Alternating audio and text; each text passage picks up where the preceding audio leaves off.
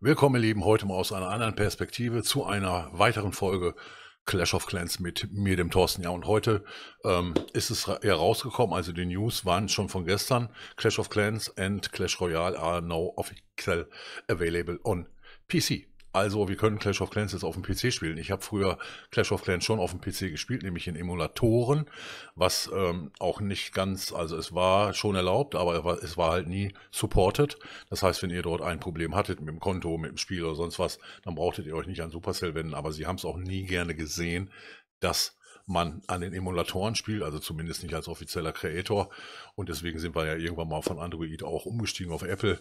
Und ähm, aber ähm, gleich, um es gleich vorweg zu sagen, wo wir gleich bei, bei, bei, bei Apple sind, äh, für einen Mac wird es das nicht geben. Und äh, die neuen Macs haben ja auch ein Problem, sie können halt äh, Windows-PCs auch nicht mehr emulieren in irgendwelchen, ähm, nicht Emulatoren, sondern in, in irgendwelchen virtuellen Maschinen oder sowas, weil die Prozessor nicht mehr kompatibel sind mit den Windows-Versionen. Und dementsprechend kann man sich dann ja, weiß ich nicht, in der AWS oder in der Azure Cloud sicherlich eine Instanz mal hochziehen. Ich wollte das Ganze aber trotzdem mal heute oder überhaupt mal äh, anspielen, wie sich Clash of Clans auf dem PC spielen lässt. Also ich meine, ich kenne es noch nicht so wirklich, aber ähm, Brawl Stars wird auch nicht nur, also im Moment ähm, gibt es äh, nur diese beiden Spiele und die anderen Spiele sind, ja, ich kann es euch nicht sagen, ob die geplant sind oder nicht geplant sind. Ich meine, wenn man erst einmal das Ganze hat, ähm, aber wenn man jetzt auf den, dann, äh, wie gesagt, wenn man das ganze Konstrukt erst einmal hat, dann ist natürlich einfach, seine anderen Sachen auch da rein zu äh, importieren. Wir können einmal in den Google Play Games gehen oder überhaupt in den Games. Doch heutzutage heißt es nicht mehr Play Store oder Game Store, sondern Google Play Games und äh, können das Ganze äh, als Beta erstmal runterladen. Dann mache mach ich das eben mal. Okay, da ist es. Oh, ist schon fertig. Okay. Dann können wir das mal installieren. Wir gucken mal, was wir für einen Installer bekommen. Okay, C-Program Files Google Play Games. Ja, mach mal hin. Mach mal da rein. Das sieht ganz gut aus. Und äh, okay, dauert noch eine Minute. Aber die Minute, äh, oh, das Spiel ist relativ, ja, ich will nicht sagen relativ klein, ich finde schon relativ groß für so ein kleines Game. Ähm, aber es ist halt auch im Laufe der Jahre äh, gewachsen. Also sowohl ähm, Clash Royale als auch Clash of Clans und ähm, Clash Royale tue ich mir aber nicht an, obwohl ich mir vorstellen kann, dass für die Clash Royale am PC das Ganze ähm, vielleicht ein bisschen sogar ein bisschen besser als auf den Mobile Devices geht, weil man halt gewisse Sachen viel besser platzieren kann. Und du hast ja auch nicht wie bei Clash of Clans den, ich, ich nenne mal so den Multitouch. Also irgendwie muss man das ja simulieren, dass man auch mal zwei Truppen auf einmal setzen kann oder so. Aber wir werden das Ganze gleich, gleich mal sehen. Und äh, ich bin mal gespannt. Ich mache euch das einmal vor, dann bra ihr braucht da keine Angst vor zu haben, so nach dem Motto, oh nee, das mache ich mal nicht.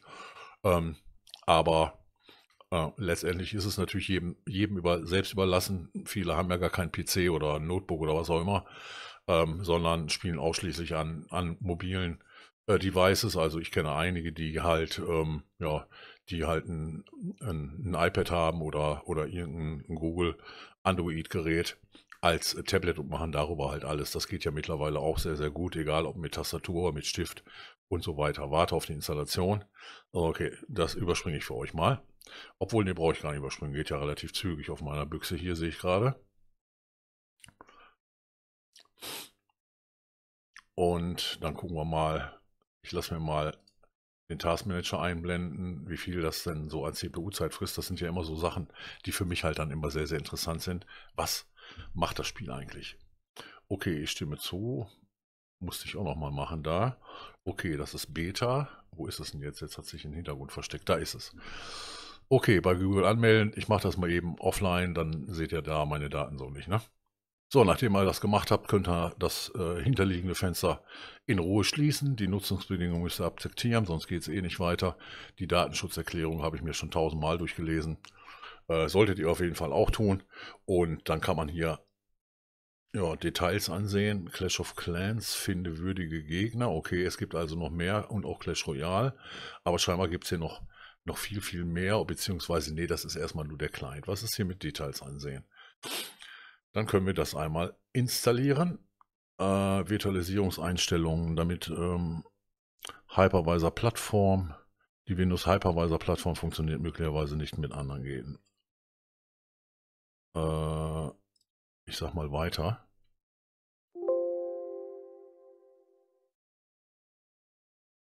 Möchtest du jetzt neu starten? Okay, da muss ich einmal neu starten. neu gestartet, frisch ans Werk, jetzt wird installiert. Wählen Sie Alt-Z um das Spiel interne, na, das will ich im Moment nicht. Ausstehend, okay.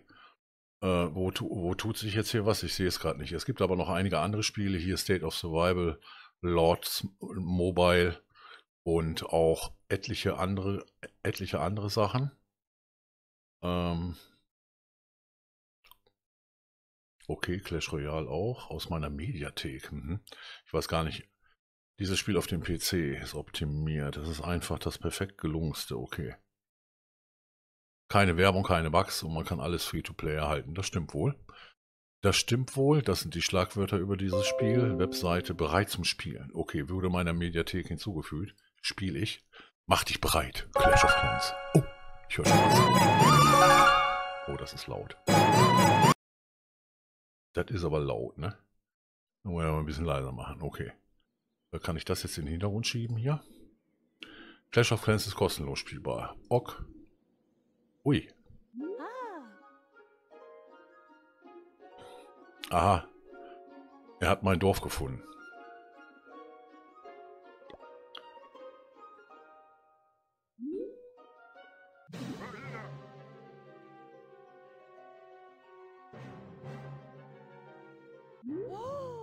Spielt sich wie immer.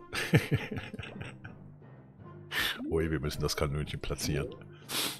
Spielt sich irgendwie wie immer, Leute. Aber Fullscreen sieht das schon cool aus, muss ich echt mal so sagen. Neue Kamera irgendwann mal ein bisschen woanders positionieren. Mal ich, ich kann mir vorstellen, wenn man das Ganze live macht, dann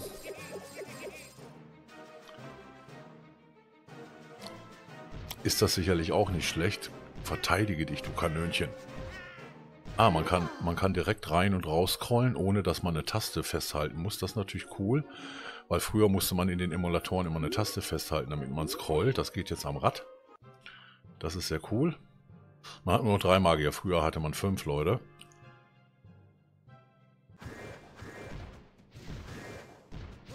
Früher hatte man fünf, da hatte man noch ein oder zwei übrig, ne sogar alle übrig und konnte, konnte dann mit, mit, mit den Level 1 Truppen dann auch schon spielen. Sehr cool, geschafft. Ab nach Hause. Wir können gleichzeitig an vielen, vielen Gebäuden arbeiten, nämlich mit einem zweiten Bauarbeiter. Sehr cool. Wir pumpen Elixier, jawohl. Also es sieht gut aus, oder? Es ist sehr, sehr smooth, kann ich euch sagen. Und ähm, man kriegt auch alles drauf, kann natürlich jetzt auch alles verschieben hier. Ihr seht meine Maus auch nicht, das ist sehr, sehr cool. Ah ne, ihr seht, ihr, seht, ihr seht meine Maus schon. Ja klar, ist ja, mein, ist eigentlich mein normaler Desktop. Das ist ein bisschen doof, da müsste man dann höchstens sagen, in der Bildschirmaufnahme Mauszeiger verbergen. Ich mache das mal so. Ja, das ist aber auch ein bisschen doof, weil letztendlich ist es ja, ist es ja mein Desktop, ne? Letztendlich ist er mein Desktop. Nee, Gems gehen wir nicht aus, da kennt ihr mich für ich bin kein Gem-Ausgeber und könnte auch jetzt schon hier mich mit einer Supercell-ID oder mit Google Play wieder verbinden. Okay. Was willst du denn? Kaserne. Ui. Und könnte mich damit ja natürlich jetzt verbinden.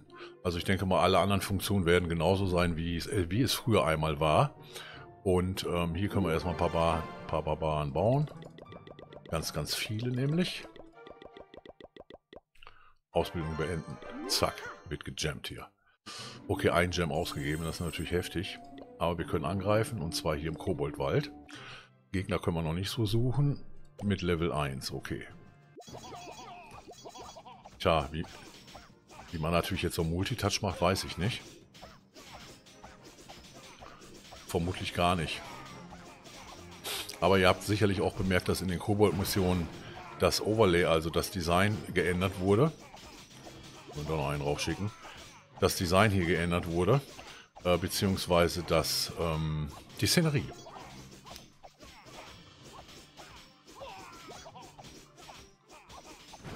Donnerwetter wusste gar nicht, dass er so viele Trefferpunkte hat. Na egal. Okay, das haben wir gepackt. Und, aber wie gesagt, es spielt sich schon schön smooth. Im Hintergrund kannst du es immer noch alles bewegen.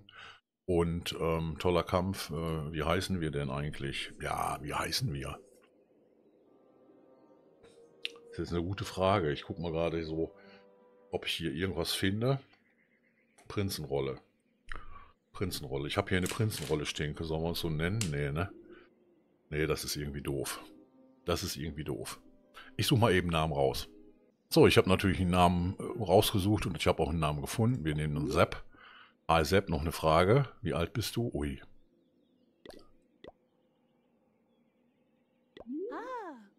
Alt genug, hoffe ich.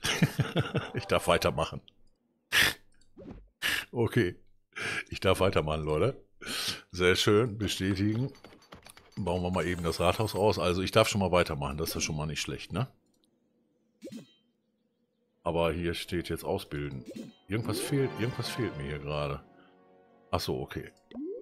Das ist hier ein kleiner Pass, den man spielen kann. Okay, das kennt ihr wahrscheinlich auch schon. Es gibt ja auch ein paar Belohnungen, die man, die man sich abholen kann. Das ist ja halt die erste kleine Ladder, die man spielen kann. Du schaffst das schon. Ja, sicher schaffe ich das. Kein Thema. Aber erstmal wollen wir ein paar Truppen ausbilden. Und auch in der Pipe. Beziehungsweise wir daten die Kaserne hier mal ab, dass wir die Bogenschützen frei bekommen. Und mit dem anderen Bauarbeiter machen wir erstmal das Armeelager hier. Sehr schön, 15 Minuten. Läuft auf jeden Fall hier beim Toti. Zwei Sachen gibt es im Shop. Es gibt hier das Ausrufezeichen. Darunter findet ihr die E-Sports News wie gehabt. Ähm, da sind auch die News. Okay, jetzt auch jetzt verfügbar. Machen wir ja gerade. Sehr cool. Und ähm, ja, wie ich es finde, weiß ich noch nicht so genau. Ich meine, man kann natürlich äh, viel, viel besser jetzt ähm, andere Sachen äh, oder überhaupt die Sachen, die Sachen jetzt zeigen. Es ist ganz offiziell jetzt am PC und ähm, man muss jetzt nicht mehr irgendwie auf irgendwelche Emulatoren, die dann nicht richtig funktionieren, das ganze Spiel spielen, wenn man das jetzt nicht über so ein Mobile-Device macht. Aber ihr könnt mir gerne mal in die Kommentare schreiben, lieber ein iPad oder lieber mal am PC ab und zu mal eine Folge machen, weil ich werde jetzt gleich mal meine IDs hier rein übertragen und dann gucken wir mal, wo wir hier so, wo wir hier so landen, würde ich sagen. Und äh, ersten Erfolg haben wir auch schon drin. Sehr schön. Also die ersten Gems laufen auch schon mal. Aber um das Lager hier abzubauen. Aber ich müsste mir eigentlich jetzt mal hier in den Einstellungen, gibt es hier mehr Einstellungen. Es sind immer noch dunkle Wolken ein. Äh, Bildschirmschütteln aus. Bildschirmschütteln, das wird ja nicht funktionieren hier, ne? Ich meine, wie soll mein Bildschirm jetzt geschüttelt werden? wie soll mein Bildschirm jetzt geschüttelt werden? Ähm, API-Token unterstütze ein Creator. Wenn ihr also einen Creator unterstützen wollt, gebt ihr einen sinnvollen Noobs an. Ähm, oder einen sinnvollen Itzu. It, Itzu. Oh, Otzi. Nee, nicht Otzi. Itzu. So. Und äh, damit unterstützt ihr auf jeden Fall einen Creator eurer oder auch meiner Wahl. Und ähm, alles andere ist hier eigentlich so, wie es geblieben ist. Das Ding hier kann man natürlich auch, das Ding kann man natürlich auch spielen. Mal gucken, wie wir das hier an mit der Maus spielen können. Mal sehen. Eins, zwei, drei, vier. Ein da, ein da oben.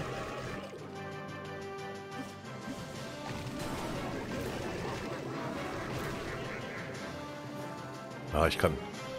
Also man, man muss die Dinger natürlich schon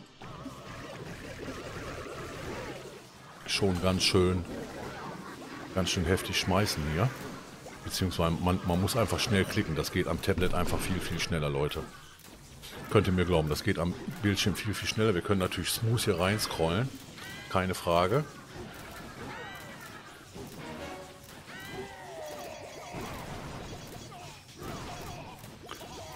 Ach, King nicht schon wieder nicht schon wieder ans Rathaus. Oh, der King macht schon wieder das Rathaus. Der King macht schon wieder das Rathaus.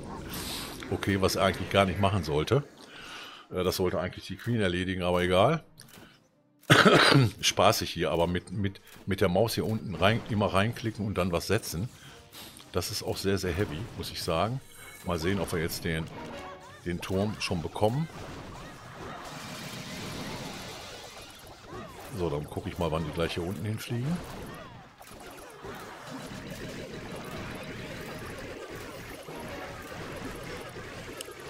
Damit haben wir das Spiel eigentlich schon geschafft. Sehr schön. Easy peasy, würde ich sagen. Also es geht schon ganz gut am PC. Äh, man, oder einige Dinge. Okay, aufnehmen geht natürlich auch super. Äh, wenn er mich jetzt von der Cam her wegdenkt oder ich mache mich ganz klein und in der Ecke oder so, ist das natürlich nicht schlecht. Ich, ich wollte gleich noch eine, eine Funktion nochmal checken, weil die geht ja nur an Tablets. Äh, die geht jetzt nicht hier an, an ähm, ich wollte gerade sagen, wieder am Emulator, aber es ist gar kein Emulator mehr. Es ist ein richtiges PC-Spiel, Clash of Clans auf dem PC. Und äh, könnt ihr mir gerne in die Kommentare schreiben, ob ihr euch das auch schon angetan habt oder ob ihr es im Moment lasst. Hier WASD geht irgendwie gar nichts. Müsste ich mal gucken. Einmal nach Hause. Da haben wir was bekommen. Wir sind im Level aufgestiegen. Sehr schick. Ähm, und ich glaube, wir müssen erstmal die Minen und Sammler hier ein bisschen, bisschen größer machen. Ähm, und dann haben wir das Event auf jeden Fall geschafft. Dafür haben wir ja, super 25 Gems bekommen. Erste Pulle 400 EP. Ähm, es ist Clash of Wien. Es kommt ein paar Sachen hier. Ah, dem, also ich blicke dem Ganzen noch nicht ganz so ganz so, ganz so toll entgegen. Aber eine Funktion wollte ich gerade noch mal checken hier. Mehr Einstellungen. Äh, ne, es gibt die Doppelleiste hier nicht. Also, ach doch, die Größe der Entsendungsleiste. Guck mal einer an. Ach, können wir doch doppelt machen. Cool. Okay, kann man hier doppelt machen. Nicht schlecht. Also, als wäre es am Tablet. Okay. Mhm. Nicht übel. Okay. Können wir zurücksetzen. Sehr schön. Also das, das geht auch. Aha. Also wenn jetzt jemand fragt, sag mal, wo hast du die Doppelleiste her auf dem iPad? Dann kann ich nicht, nicht mehr sagen, ah, das geht nur am auf Tablet, sondern muss jetzt auch als Antwort geben, das geht auch am PC-Spiel. Okay, so. Nicht schlecht. Äh, ja, wie gesagt, was haltet ihr davon? Clash of Clans auf dem PC. Habt ihr euch auch das Ganze auch schon angetan? Äh, das, was ich mir noch nicht angetan habe, ich wollte mal gucken, wenn ich hier jetzt wieder auf den Desktop springe, wie viel CPU-Zeit das Ganze denn nimmt. Oh, relativ wenig. Okay, sehr, sehr wenig äh, sogar. Ähm, also das frisst hier kaum, kaum Brot. Auch wenn man hier jetzt mal so ein bisschen scrollt, ein ganz kleines bisschen häkelt. Aber wie gesagt, man braucht keine Taste drücken, um hier ähm, hoch und runter oder mit, mit dem Mausrad kommt hier rein und raus. Ähm, alle anderen Tasten hier sind hier, was ist hier, wenn ich F1 drücke, geht gar nichts, F2 geht auch nichts, okay. Also es ist wirklich rein Mausgeklicker-Spiel und ähm, ja, ich finde es ich find's eher schwer, muss ich sagen, weil du kannst am Tablet einfach mit mehreren Fingern viel, viel mehr machen, ist einfach so, ja. Das, äh, das, das Ganze hier auch rein und raus ist auch viel, viel smoother, viel, viel schneller. Ähm, aber ich, ich kann euch nicht sagen, warum Clash of Clans jetzt plötzlich doch diesen Weg gegangen ist äh, und hat sich gesagt, ähm, okay, wir müssen, das Spiel jetzt auch unbedingt auf den PC bringen. Aber wie gesagt, schaut es euch an. Schreibt mir in die Kommentare, was ihr davon haltet. Ja, nein, vielleicht. Finden wir ganz gut oder auch nicht. Äh, und dann würde ich mich freuen, wenn wir uns wiedersehen. Bleibt bitte auch bei Twitch am Kanal dran. twitch.tv schräger clasht. Und ähm, dann äh, würde ich sagen, bis dahin, äh, vielen Dank für eure Aufmerksamkeit. Wenn euch das Ganze gefallen hat, wie immer, Daumen nach oben, abonnieren, am Kanal dranbleiben. Ciao, ciao, euer Toto. Clasht.